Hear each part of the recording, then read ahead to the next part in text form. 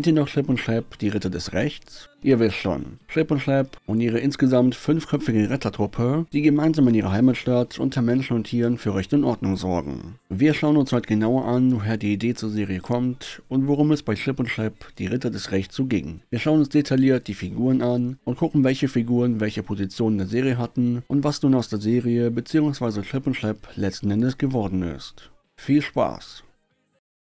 Also, die Serie war nach der Gummibärenbande und jetzt die dritt erfolgreichste Disney-Zeichentrickserie. Während Gummibärenbande 1988 und jetzt 1989 in Deutschland rauskam, kam in Schlepp und Schlepp zwei Jahre später heraus. Bekannt waren die beiden Streifenhörnchen aber schon 50 Jahre zuvor. Die Ritter des Rechts Serie bietet drei Staffeln mit 65 Folgen in einer Länge von ca. 22 Minuten und die Idee zur Serie kam von Ted Stones und Alan Susloff. Und vor allem Ted Stones hatte sich folgendes dabei gedacht. Alter, wir haben Bernhard und Bianca, das sind zwei Mäuse, die die Hauptrolle spielen. Lass doch sowas ähnliches nochmal machen. Und ey, warum der ganze Stress? Wir haben Chip und Chap. Warum macht man daraus nicht eine eigene Serie? Gesagt, getan. Das Konzept dazu lief erstmal unter dem Namen Metromise, wurde aber kurzerhand zu Rescue Rangers, aka die Ritter des Rechts umbenannt. Und so kamen auch schon bald die ersten Ideen dazu. Die ersten Entwürfe von Zeichnungen wurden gemalt, das Ganze wurde weiter ausgeschmückt, bis dann letzten Endes Schlipp und Schlepp die Ritter des Rechts 1998 in den USA und 1991 in Deutschland ausgestrahlt wurde und geschaut werden konnte. In der Serie geht es um ein Retterteam, was aus fünf Membern besteht und jedes Mitglied hat so jeweils seine eigenen Merkmale, eigene Eigenschaften und Fähigkeiten, die die Rettungsmission beeinflussen. Egal ob positiv oder negativ. Sie gehen zwar gemeinsam auf ihre Mission und versuchen jegliche Verbrechen aufzuklären oder zu verhindern und kämpfen auch nicht gerade wenig gegen gemeine Bösewichte, aber jedes Mitglied bringt noch so seine eigene Persönlichkeit mit rein und auf die Mitglieder möchte ich nun ein wenig mehr eingehen. Wir beginnen mit Chip.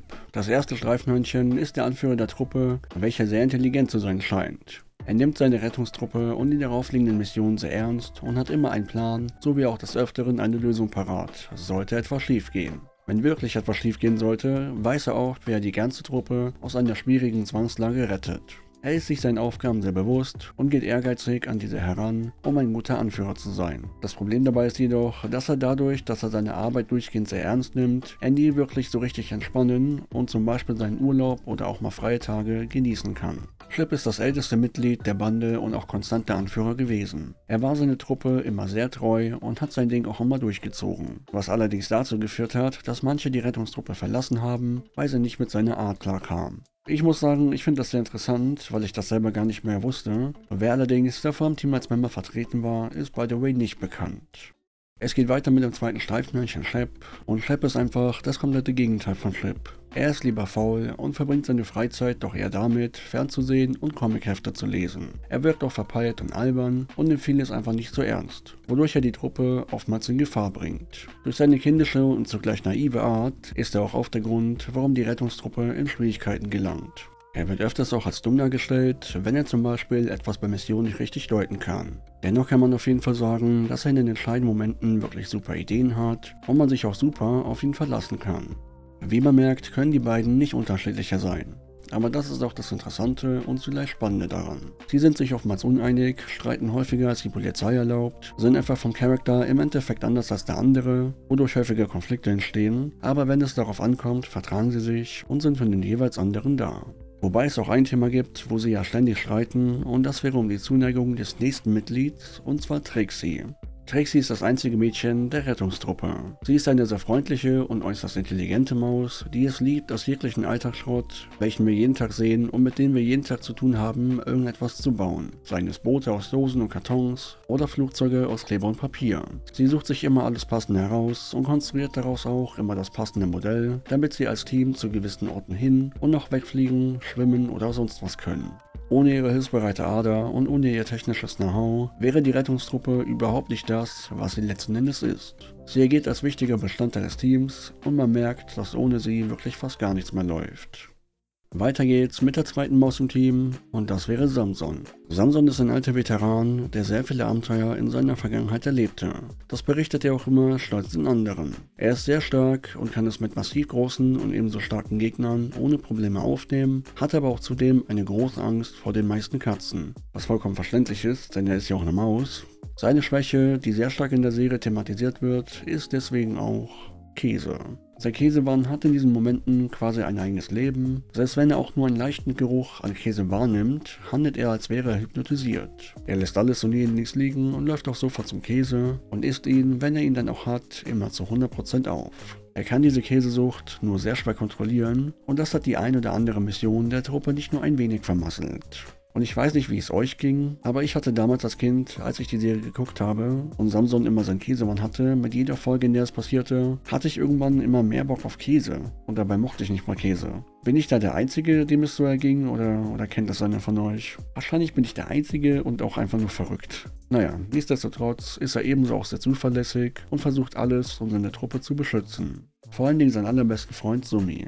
Und damit kommen wir nun zum letzten Mitglied des Rettungstrupps. Sumi, die kleine grüne Fliege und zugleich wie erwähnt, der beste Freund von Samson.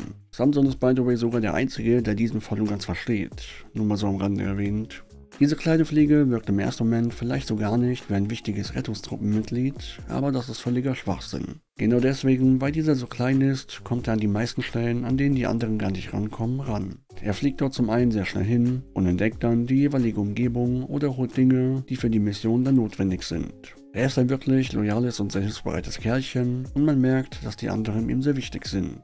Dennoch gerät er oftmals in Panik, wenn gewisse Dinge schieflaufen oder er die Aufgaben, die er erledigen will, nicht so hinbekommt, wie er es möchte. Er ist sehr nachdenklich und macht sich, wenn Dinge nicht so gut laufen, selber dafür verantwortlich, weil er sich für viel zu klein und viel zu schwach hält.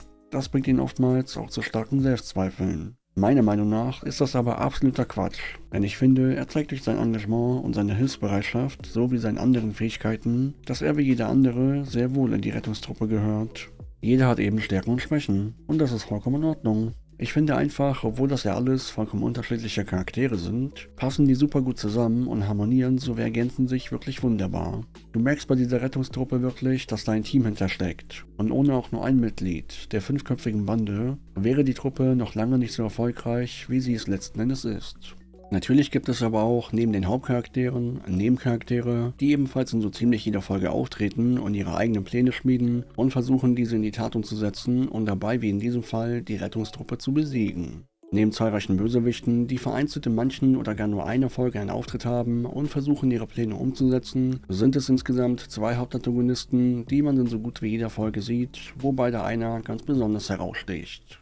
Zum einen wäre der Professor Nimnul, welcher so den typischen Archetypen eines verrückten Cartoonwissenschaftler gleicht und versucht mit seinen wahnsinnigen Erfindungen an Geld zu gelangen oder vor allem die Weltherrschaft an sich zu reißen. Und ich weiß nicht, wie es euch geht, aber mich erinnert der Typ an Professor Dr. Calamitus aus Slimmy Neutron, der genauso verrückt auch war und seine weirden Erfindungen und noch so weirden Pläne hatte.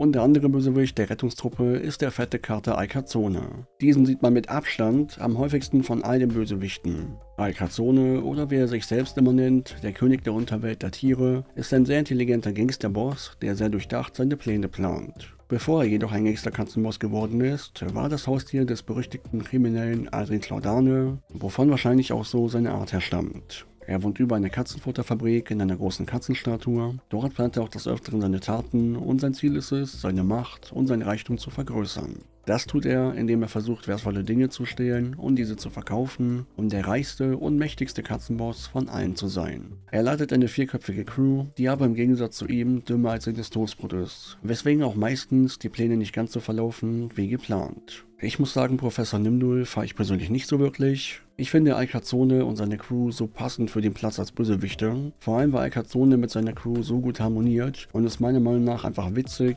aber auch zugleich interessant ist, wie sie miteinander die Pläne schmieden und wer dabei welche Rolle einnimmt. Auch wenn sie dumm wie Toastbrot sind und auch wenn sie meistens besiegt werden, finde ich sie sympathisch. Und wie gesagt, nicht nur die beiden, sondern auch die anderen Bösewichte kommen gelegentlich in der Serie vor. Die haben natürlich ihre eigenen Ideen und Pläne, die sie verwirklichen wollen, was by the way auch ein wichtiger Punkt ist, der das Ganze für mich spannender macht. Wenn es nur die beiden Hauptbösewichte gäbe, die in jeder Folge ihre Pläne schmieden und am Ende von der Rettungstruppe in den Boden gestammt werden würden, wäre es irgendwann einfach langweilig. Aber dadurch, dass es so viele verschiedene Bösewichte gibt, mit verschiedenen Gedanken, Methoden, verschiedenen Orten, die man sieht, allgemein auch dadurch, dass jeder auch seine eigene Persönlichkeit, individuelle Persönlichkeit hat und anders an seine Ziele rangeht, wird das Ganze deutlich spannender, als man sich das eventuell im ersten Moment so vorstellt. Es gibt auch keine einzige Folge, die so ist wie die andere. Das habe ich auch schnell gemerkt, als ich diese Serie nach Jahren wieder schaute.